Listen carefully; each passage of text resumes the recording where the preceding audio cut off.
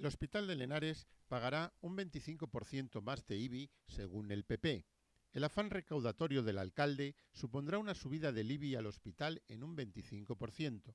Así de contundente se mostró el portavoz del PP, Raúl López, ante la comisión urgente que terminó con el visto bueno de Somos Coslada, Arco y el concejal no adscrito a la propuesta del regidor socialista, Viveros, que implicará una subida del citado impuesto a las grandes superficies.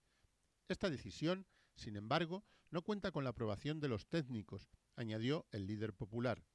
Asimismo, López denunció las malas artes que practica el primer edil. No hemos tenido tiempo para estudiar las propuestas que nos plantea y que tenían pactadas de antemano con el resto de formaciones políticas. En la misma línea, recordó la bajada aplicada desde su Ejecutivo en 2014 solicitamos una revisión catastral de las viviendas y de este modo beneficiar a la ciudadanía, especialmente a jubilados, viudas, parados o vecinos en situación de riesgo, a quienes no podemos seguir ahogando, apostilló. En la misma línea se pronunció el número dos del PP y portavoz adjunto del principal partido en la oposición, Francisco Becerra. Es un aumento desproporcionado, arbitrario y también injustificado, tomado con absoluto desprecio a las advertencias del interventor y de los trabajadores de Hacienda, y que el PSOE quiere llevar a cabo con Somos, los republicanos y el único tránsfuga de la corporación, sentenció al respecto.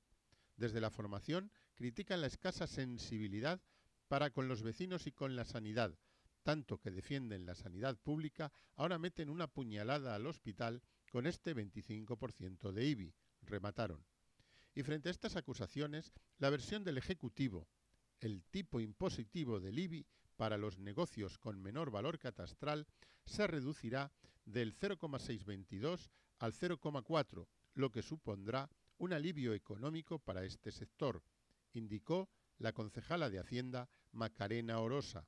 Según la edil, la contribución no experimentará aumento alguno para la ciudadanía, pero sí para los mayores valores catastrales, Gracias a esta redistribución impositiva, la recaudación aumentará un 8%, que repercutirá en la mejora y mantenimiento de los servicios públicos.